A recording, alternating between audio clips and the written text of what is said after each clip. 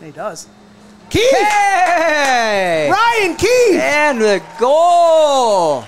In the 16th minute, newcomer Ryan Keefe with a towering header off the set piece from Lionel Vang. Sorry, 17th minute.